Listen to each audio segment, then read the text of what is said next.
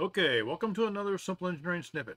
In this video, we're going to be working through an energy, uh, conservation of energy example where we are going to determine the height of the water necessary to uh, support required uh, flow rate. So this example looks uh, something like we've uh, done before. And on first thoughts, we could say, well, we can use uh, Bernoulli's equation for this. And if we could use Bernoulli's equation, it'd be a very simple problem because we know that the velocity, if we can ignore losses, is equal to the square root of 2gh. So it's a simple matter of converting our volumetric flow rates into velocities and then back calculating for the required h. But looking at the uh, provided data, uh, we see that we have a, a, fairly long section of pipe, 80 feet, a little over 24 uh, meters, and it's of a fairly small diameter. So uh, using Bernoulli's equation, ignoring uh, losses, uh, that would not give us a very good answer. So we're not going to be going that route. Okay, so we have additional data. We have the uh, density, and again, you'll note that I'm solving this using uh, uh, British gravitational units and SI. Got the dynamic viscosity. Again, we have the volumetric flow rate. It's commercial steel pipe, so we can look up the standard roughnesses. And we have the diameter and the length. Okay, so a good thing, the starting point is we're going to be applying conservation of energy. So let's select uh, two points to apply that. It's always good that uh, uh, some points that we have, we know everything. Point one, it's open atmosphere, as is point two. Uh, it includes the unknown H, so that's important. And it's a fairly large tank, so we know the velocity at 1 is equal to 0. And at 2, well, we can calculate the, uh, the velocity in its atmosphere, and we're going to be setting the uh, our datum, so uh, the uh, elevation at 2 is going to be equal to 0.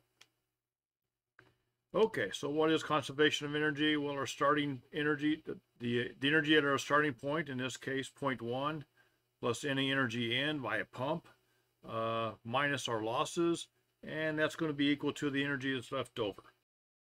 So uh, writing that down in the equation form, at point one we have uh, energy due to pressure, which again is going to be atmospheric, uh, potentially a kinetic energy, its is going to be zero, our unknown.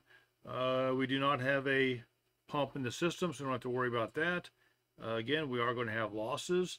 And so let's go and continue to simplify and P1 and P2 uh, cancel each other out, and they're both atmospheric, so we could say they're zero.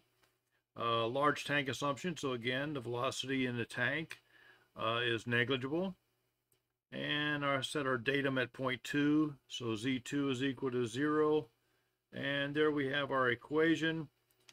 And solving for that, we have that our height or elevation in the tank is equal to our head loss plus the uh, velocity head.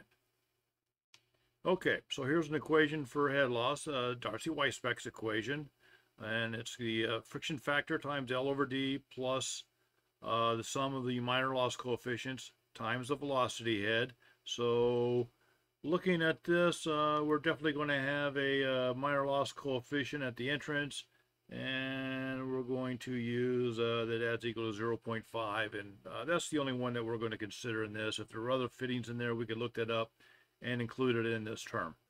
Okay so now let's work on the uh, friction factor and it's in function of in general the Reynolds number and the relative roughness. And so uh, we're going to need to find the Reynolds number. Here's the equation for Reynolds number uh, the density times the velocity times the diameter over the uh, dynamic viscosity and to find the velocity, well, we know the volumetric flow rate, we know the diameter, so we can calculate the area, so we'll be able to find that. And so let's uh, march through this. All calculations were uh, performed uh, using uh, SMath. And so using the diameter, I'm going to calculate the area. And once I know the area, I can calculate the velocity at point 2, which is again the velocity inside our long pipe or tube.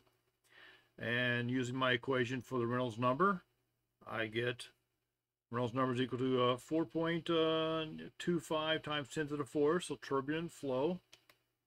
And now I need to find the friction factor. And, well, I'm going to use the uh, Jain correlation. There are others, but this is an explicit correlation, and it gives a decent accuracy, probably as accurate as looking it up off the uh, the Moody plot. And so plugging in my Reynolds number, and I have my roughness and the diameter, and I get my friction factor is uh, 0. Uh, uh, 276. Okay, well, let's go ahead and calculate my uh, velocity head. And now I can plug into my uh, head loss equation. Oops, right, here it is up here at the top. And obtain the values in both feet and meters. And uh, we're about done because now it's all left is to add these terms. And I obtained my final answer. So to support this flow rate, I am going to need 102.3 feet of uh, water or equivalently uh, 31.2 uh, meters of water. So I hope you found this uh, example uh, useful. Please like and subscribe, but more importantly, have a great day.